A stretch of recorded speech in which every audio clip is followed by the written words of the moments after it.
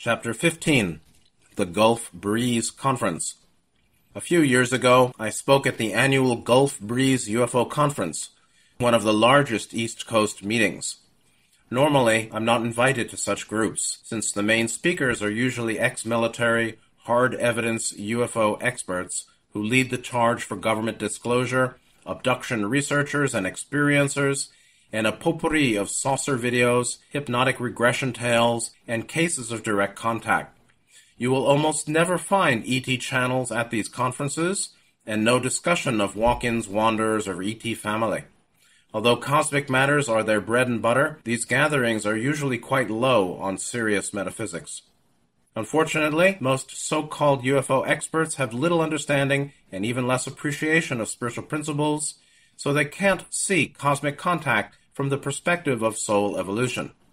Proceeding from a rational materialist bias, their trail goes round and round, and the major topics discussed at UFO conferences today are about the same as they were 10 years ago. And so, if I'm not invited to speak, I rarely attend such meetings. While it's interesting to hear about the latest cover up, secret evil project, or doom and gloom prediction, it's not worth sitting through all the excess wondering. Frankly, it's painful for me to watch them flailing about. The confusion between positive negative ET agendas, the childish hope that humanity will wake up when human leaders are forced to reveal UFO data, and the near total lack of spiritual focus. There is generally no understanding of path, meditation, and the glory of real cosmic design. However, what is really hard for me at these conferences is the complete reversal of what the UFO ET contact phenomenon is all about spiritual assistance to humanity, and the importance of love. For better or worse, you'll find more talk of love and compassion among your typical Sunday churchgoers than among most veteran UFO researchers. Nevertheless, when I was asked to speak at this conference, I immediately accepted. If they wanted me, then maybe they are more open than I thought. Actually, since I had been recommended to the main organizer Vicki Lyons by Michael Lindemann, a respected UFO researcher and friend, I came in on a red carpet. As the I Ching, or ancient Chinese divination book says, I was a, quote, weak line in a strong place, a relative unknown among big name researchers. But surprisingly, I became the featured attraction at the conference. Vicki Lyons appreciated my approach so much that she kept me in the spotlight, letting me give lead-off presentations both Friday and Saturday mornings, and having me moderate the speaker panel on the last night. Everything was arranged, with a little help from upstairs, I assume, to give me maximum exposure to present the spiritual purpose and value of the UFO presence on Earth. Perhaps the time was right for some deeper information on cosmic purpose. Since mine was the first lecture on the first day, the hall was packed with nearly 500 people, and though they had to pay extra, about 350 people came to my workshop, more than I had ever had before. I was quite surprised, but as I learned later, Many people appreciated my presentation, and dozens came up to thank me later in the weekend. They really got it. As for the other presenters, they really did not get it, which was not much of a surprise. Representing the abduction issue, there were Bud Hopkins and Professor David Jacobs, both of whom certainly have no sugary illusions about the visitors. On the contrary, they painted a dire picture of ruthless alien intent, mind control abuse, hybrid agendas, and approaching world conquest. Understandably, they consider negative ETs unstoppable, they have no idea about spiritual protection, and have naught to say about benevolent ET groups. Though both of these researchers are sincere and do care about those that they are treating, because they don't have much interest in divine power or higher self, they've only got half the picture, the dark half. And in the shadows, as usual, nothing is clearly seen. Also in Shadows, with apparent good intent, there was Linda Moulton Howe, a well-known author and film producer. She's quite famous in the UFO research community and has had a regular place on the Art Bell show.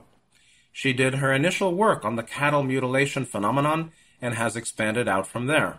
Today, she's deep in the black world of covert projects and shadowy government agents who sometimes support her work. They give her tidbits on underground bases, secret groups, high-tech weapons, and the great mighty power of ETs, who had evidence, it was claimed, of having genetically mastered our race. Sounds like negative source disinformation to you?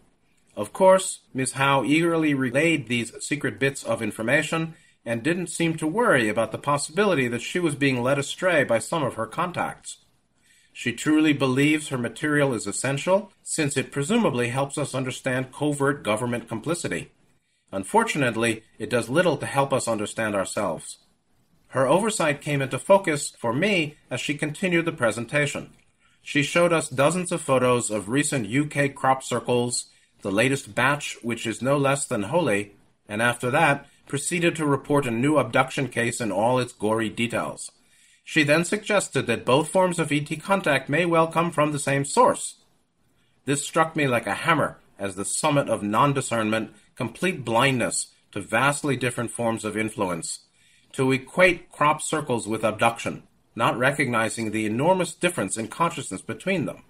Sacred cosmic geometry on the one hand versus traumatic, scarring soul abuse on the other was simply amazing to me. I was really shocked that a famous UFO researcher could entertain this notion, continue to sell books, and be invited to conference all around the world makes me want to go back to the monastery. No wonder so many people are confused when those at the top have so little discernment. I understand why the Buddha's first thought upon realizing enlightenment was that no one would understand him if he opened his mouth.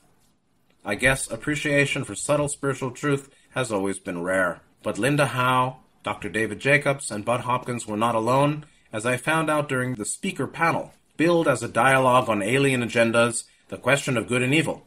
I had hoped in my capacity as moderator to tease out so-called expert opinions and provoke a lively debate. On the contrary, almost none of the speakers had any conclusions, and when it came time for audience Q&A, not a single person even addressed the issue of polarity. They simply asked individual speakers about their own individual work. It was no group event at all.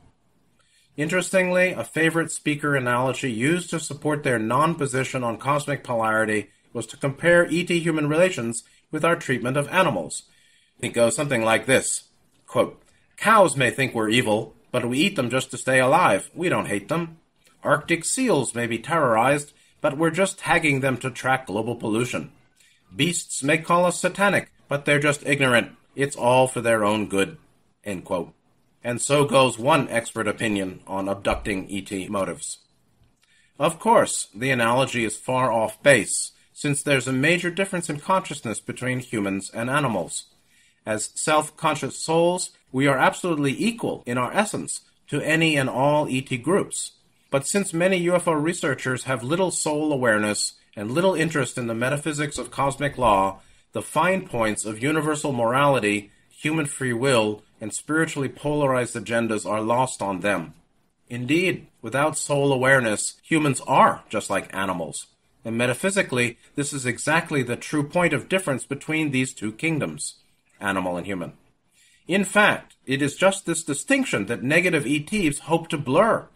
Indeed, Ra noted point blank that true abduction is, quote, a means of terrorizing or terrifying the individual and causing it to feel the feelings of an advanced second density being such as a laboratory animal. Unfortunately, as the so-called UFO experts equate the human treatment of animals with the rough handling of abductees by abusive aliens, it supports this very same negative ET agenda. In making people feel like animals, obviously, those aliens have been somewhat successful. So while much of the audience appreciated the light I was shining, most of the speakers on stage, frankly, could not see it, or so it seemed. And they are supposed to be the experts. All in all, however, I considered the conference a great success, and I was very pleased to have been invited. It was really nice to see that most people had a pure desire to learn, and their seeking was truly spiritual, I can only hope that this continues and grows in the UFO research community, making the union of material evidence and careful metaphysics. Only through such integration can we truly understand the uniqueness of the present time. In the next chapter, we will revisit a somewhat sad story of the Heaven's Gate group, another case of grossly mistaken metaphysics.